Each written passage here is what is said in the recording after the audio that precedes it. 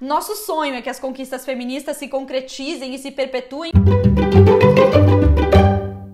Amores, bem-vindos a mais um episódio da nossa série sobre arte e feminismo. A artista de hoje é uma que eu gosto muito.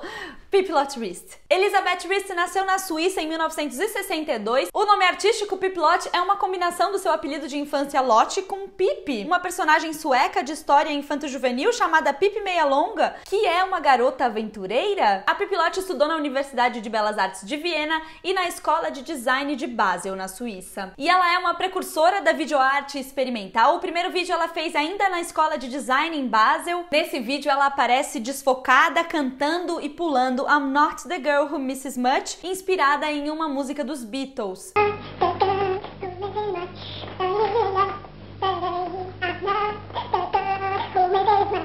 Na Suíça, ela faz parte de uma banda só de mulheres chamada Le Prochaine e ela leva a estética dos clipes e filmes de música para sua arte, além de uma atmosfera psicodélica. O vídeo tem para ela uma qualidade de pintura e se você se concentrar no ruído da cor, até parece uma aquarela. A tela para ela é como uma pintura em movimento, é como um pontilismo do Sorra que se mexe. Nos anos 90 a pornografia viralizou e era muito consumida em VHS e na TV e tinha uma discussão feminista de parar com a pornografia que a Pipilote não concordava muito. Então ela decidiu ela mesma fazer um pornô para mulher, um pornô que ela gostaria de ver. Porque o pornô está mais interessado em mostrar o que as pessoas pensam e sentem do que na ação efetivamente. A Pipilote aparece na maioria dos seus vídeos e muitas vezes ela mesma canta. Sip My Ocean de 96 é uma projeção em telas espelhadas com imagens de um mundo inconsciente dos sonhos, com cenas caleidoscópicas embaixo d'água. Inclusive ela faz bastante coisa embaixo d'água. E para trilha sonora, a própria Pipilote canta uma versão de Wicked Game.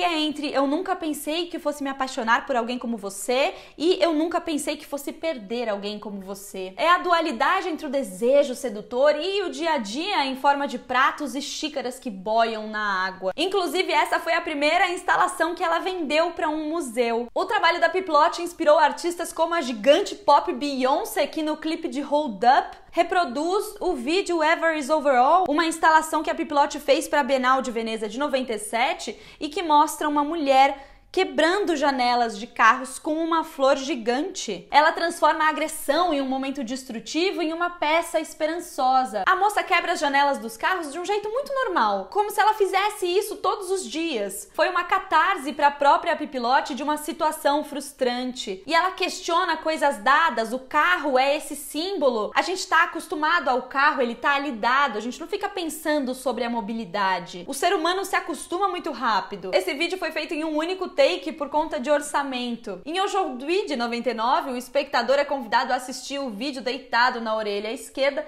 e com a tela virada em 90 graus. E no vídeo, Pipilote passeia tranquilamente, oniricamente, em um supermercado. Ela usa bastante cores saturadas e se vê como uma artista que briga pela cor. A cor que é perigosa, sedutora, que não se sabe onde termina. Às vezes dizem que meus trabalhos são coloridos, mas minha opinião é que não são mais coloridos que a vida. Em Open My Glade de 2000, ela apresentou uma série de 16 vídeos de um minuto em telas gigantes da Times Square em Nova York, com closes do seu rosto enquanto ela fazia declarações poéticas, filosóficas e políticas. Em Himalaya Sisters Living Room de 2000, um quarto mal iluminado tem móveis e objetos de diferentes épocas e alguns recebem projeções, como uma mesa lateral com a artista pressionando o rosto contra o vidro. Assim como ela usa o vídeo para explorar o interior das suas personagens femininas, aqui ela usa as projeções para descobrir pensamentos e memórias embutidos nos espaços da casa. Steer Heart Rings Heart de 2003 tem uma tela tela com imagens do corpo,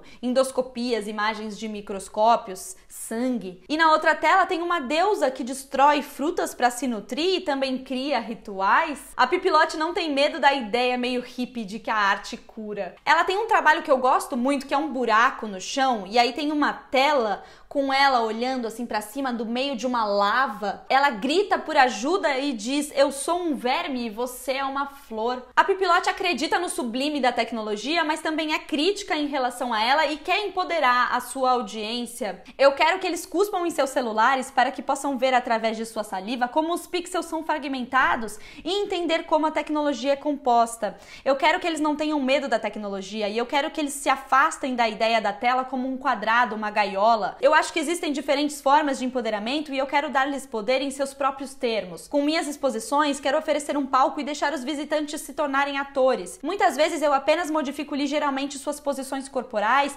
libero-os da luta permanente contra a gravidade ou os convido a tirar os sapatos ou a esconder seus corpos na frente dos outros visitantes. Tais belas alterações têm enormes influências em nossa capacidade de contemplação. Tem um outro trabalho que eu gosto bastante que ela trata sobre os quadris, a nossa parte do corpo mais complexa e ambivalente. É através dos quadris que a gente vê a luz do mundo quando a gente nasce e é também por ali que a gente elimina o que o corpo não precisa. Ela acredita que essa ambivalência nos guia pela vida. Ela faz um lustre grande que é como um varal com calcinhas e cuecas e que tem imagens projetadas nele. Claro que sou feminista porque toda pessoa normal é feminista. Sou uma feminista de maneira política, pois sou a favor dos mesmos salários e empregos. Mas na minha vida pessoal eu não tenho que ser, porque as pessoas com quem eu estou lidando não são idiotas. Eu sou grata pelo feminismo, mas as mulheres fizeram isso uma vez, então eu não tenho que voltar ao que elas fizeram. Nosso sonho é que as conquistas feministas se concretizem e se perpetuem para que a gente não precise voltar a nenhuma delas.